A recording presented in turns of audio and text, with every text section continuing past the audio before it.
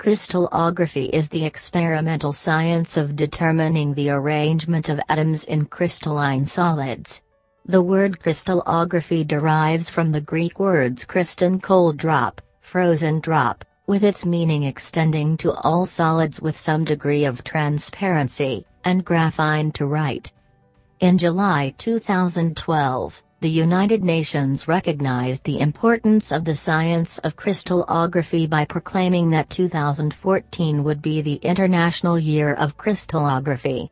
X-ray crystallography is used to determine the structure of large biomolecules such as proteins.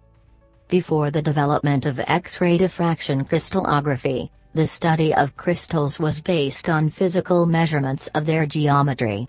This involved measuring the angles of crystal faces relative to each other and to theoretical reference axes and establishing the symmetry of the crystal in question. This physical measurement is carried out using a goniometer. The position in 3D space of each crystal face is plotted on a stereographic net such as a Wulff net or Lambert net. The pole to each face is plotted on the net. Each point is labeled with its Miller index. The final plot allows the symmetry of the crystal to be established. Crystallographic methods now depend on analysis of the diffraction patterns of a sample targeted by a beam of some type. X-rays are most commonly used, other beams used include electrons or neutrons. This is facilitated by the wave properties of the particles. Crystallographers often explicitly state the type of beam used, as in the terms X-ray crystallography, neutron diffraction, and electron diffraction. These three types of radiation interact with the specimen in different ways. X-rays interact with the spatial distribution of electrons in the sample.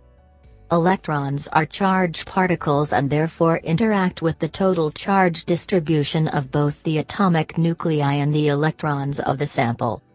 Neutrons are scattered by the atomic nuclei through the strong nuclear forces, but in addition, the magnetic moment of neutrons is non-zero. They are therefore also scattered by magnetic fields.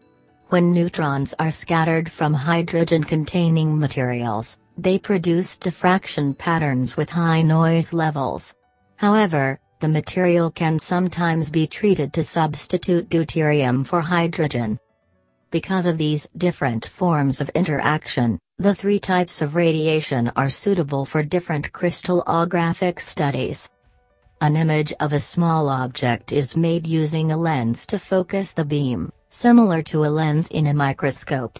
However, the wavelength of visible light is three orders of magnitude longer than the length of typical atomic bonds and atoms themselves.